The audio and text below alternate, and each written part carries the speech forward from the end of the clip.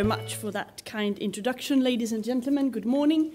Uh, thank you for the Foreign Trade Association and uh, for Eurocommerce for inviting me to this. I think it is indeed very timely, and I'm happy to, to contribute to, to your debate and looking forward to, to your input uh, today and in the future as well. And the uh, title of this, Unleashing the Potential of EU Trade, is uh, very, very timely indeed. And that's exactly how I see my job and my job description. So I'm happy to talk under that title.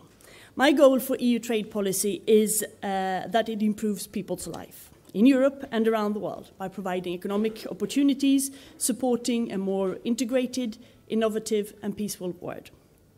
And the question is, of course, how we do it. There are many ways. We can make it easier for manufacturing companies to export. We can help service companies to find their ways to foreign markets. And we can make EU a more attractive place for foreign investors to come and to create jobs. And they are all important. But I also believe that retail companies, like the ones represented here today, can be an important channel for trade to boost people's quality of life. From a trade policy perspective, retailers and wholesalers bring to consumers lower prices, greater choice that trade provides. But beyond that, the sector employs 29 million Europeans, 13% of the labor force. Retail companies also make up the backbone of European SMEs, accounting for almost a third of all the European SMEs. And retailers are an essential part of the infrastructure to deliver true sustainable development with your direct connections to producers around the world. You all know that, of course. And you also know that um, you represent an industry that face real challenges. A challenge of demand. Since the crisis of 2008, many European consumers have lacked resources and confidence. And with 25 million people unemployed, that's hardly surprising. There's a challenge of technology like so many of their peer retailers, must adapt to disruptive digital innovation. That means adapting their strategies for an online world and get it used to a more competitive environment with more cost pressures. There's a challenge of sustainability. Consumers today are more and more concerned about the environment and the broader ethical footprint of the products they buy. And dealing with all these changes uh, puts many firms in the sector under pressure. So the question we have to answer is twofold. Can trade policy help? And can we do more than it's already doing? And this year, as was referred to by our chairman, the Commission is upgrading and updating its trade policy strategy. This is the right time to consider what more can be done all across the board to boost sustainable prosperity. But let's start with the first question. Can trade policy help the retail sector? Well, I hope it can, otherwise I wouldn't be here. Uh, the answer is yes, in three ways. First, by helping Europe export. Trade deals create opportunities for European companies, boosting demands for European products, and consequently, demand for the products that you sell. During the crisis, we saw that export to faster growing parts of the world were a lifeline that reduced the severity of the recession. And their importance will all increase in the future, given that we expect 90% of global growth to come from outside the European Union in the coming 20 years. Furthermore, many companies within the retail sector can and do grow by exporting their own services, mostly by investing abroad, and trade deals make this easier. The second way that trade policy helps the retail sector is enabling your access to the goods and services you sell at competitive prices. Tariffs are already low, an average of 4%. And if we complete the whole agenda of ongoing bilateral negotiations, over 60% of our imports would be covered by free trade deals. Our generous uh, preference system offers easy access for products from developing countries. We have autonomously suspended uh, tariffs on more than 1,600 products, crucial for our competitiveness. And we are streamlining our customs procedures by implementing a modernized EU customs code. And our own domestic single market also keep our economy open. Our state rules are unique globally, our EU-wide standards have made it easier for exporters around the world to gain access to all our members. And while we still have to do more on service integration, the strides we have made have helped bring the cost benefits of competition to vital sectors like telecom. The final way trade policy can help your sector is by encouraging high standards of labour and other human rights, as well as environmental protection around the world. That supports your own efforts to bring sustainability in your supply chains. And we do this through the GSP Plus scheme, which offer better access to the EU market from countries who live up to high standards for labour rights and the environment. We do it through sustainable development chapters in all our free trade agreements. And we have shown the potential of voluntary schemes with strong political backing through, for instance, the Sustainable uh, Sustainability Compact for Bangladesh and our proposal, as was also referred to, on conflict minerals. And then there was the second question Can a new trade strategy help Europeans by helping the retail section? Well, I can't answer all those questions today. We will be working over the coming month on a new strategy, and the result will only be available later in this autumn. But I will carefully listen to your and other suggestions on how we can improve and what new elements we need to bring out to have a modern trade policy.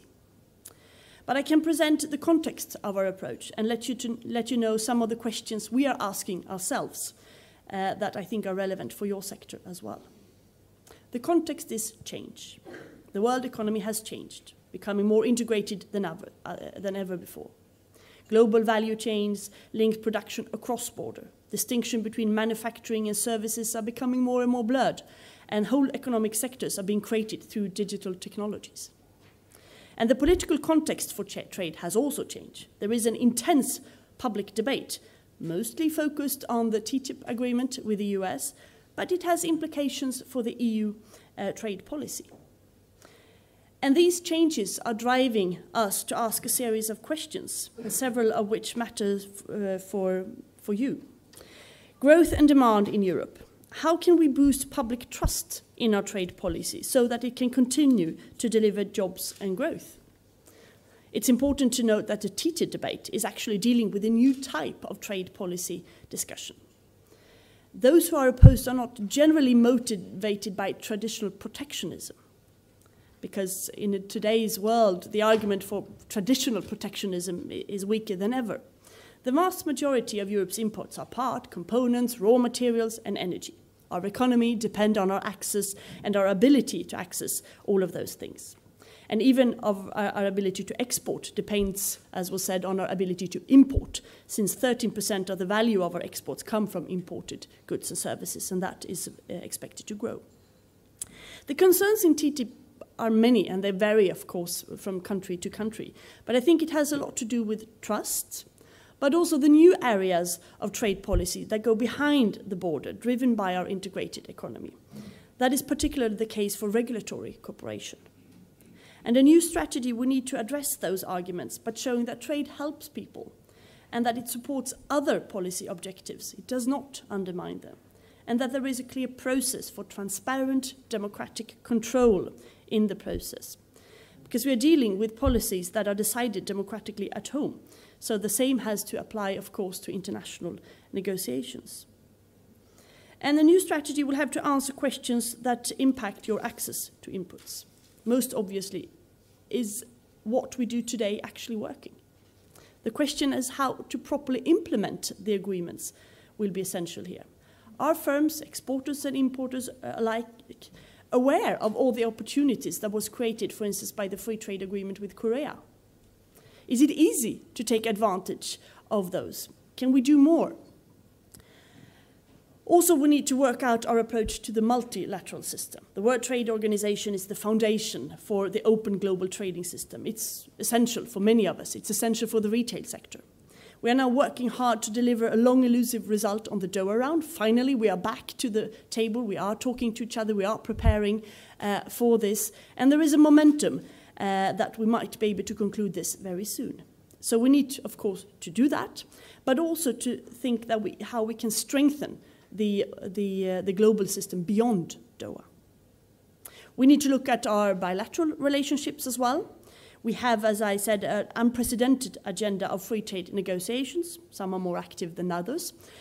Uh, getting results from all that and prioritizing our efforts will, of course, be essential for the whole economy and for your sector. And I'm looking for your input here as well. We need to address bilateral relationship with strategic partners, even if we don't have actual free trade um, negotiations ongoing. Emerging countries like China, of course, very important in this context. And a new strategy will have to see how to secure their long-term support for open, rule-based trading system. Finally, the new strategy will have to look at what we can do to promote responsible supply chains. I made reference to the Rana Plaza tragedy in Bangladesh, and it reminded us that global integration has a dark side as well. The retail sector, directly connected consu consumers, is of course very aware of this. We have responded uh, with an innovative approach in the Bangladesh Compact, and we also drive sustainability through many other policies.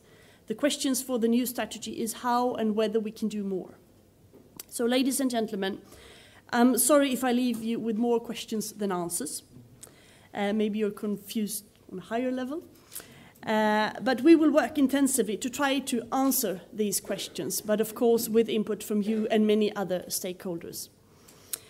Uh, and we need we need the, that import uh, of input of, of uh, answers and um, and viewpoints from governments, think tanks, business, environmental organizations, um, NGOs, trade unions, consumers, etc. And the discussions today, of course, will be an important contribution. We are traveling around with myself and my colleagues around the member states to, to listen and to, to talk. We will have dedicated meetings with civil society dialogue.